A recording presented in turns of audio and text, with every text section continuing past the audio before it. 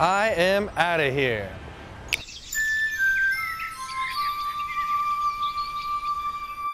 Welcome to Learning Nature with Chris Locke. I'm Chris Locke, by the way, and this is my very first documentary series ever. I'm so glad that you can join me because it's about something that I love so much. So please, come along with me and learn as much as you can from about as much knowledge that I have about the wondrous world of nature. Trees! Those mighty tall giants of the woods. Here's one. Trees are really special to us because they help us breathe in oxygen. You can do lots of things with them, like make paper out of them so you can write contracts.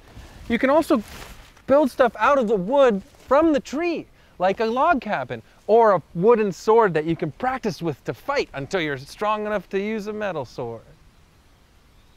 The bark is like the skin, and when you rip it off, syrup pours out of the tree like blood. And in the fall, the leaves fall to the ground, like how a man goes bald, even sometimes when he's young.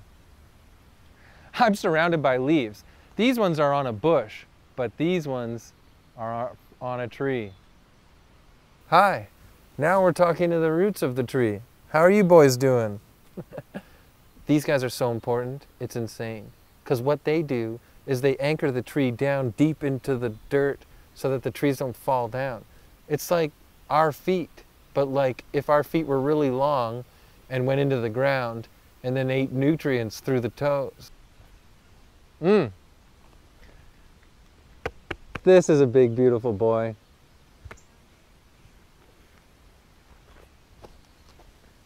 Fun fact. Are these trees? Let me know.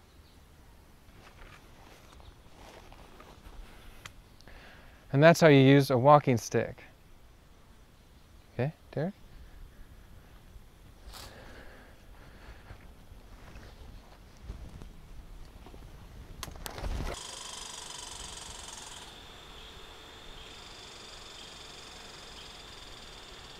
You hear that?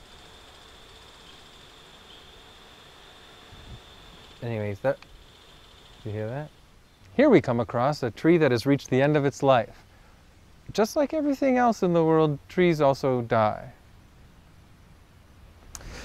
but see, this is beautiful. I could live under here. See the canopy of branches, like how they go? And then they, that would be my roof. And then I sleep down here, all nestled up like a lone wolf. No more mean people, no more crime, right? Honking horns, what? What could, what would make you go back? You can use leaves as toilet paper.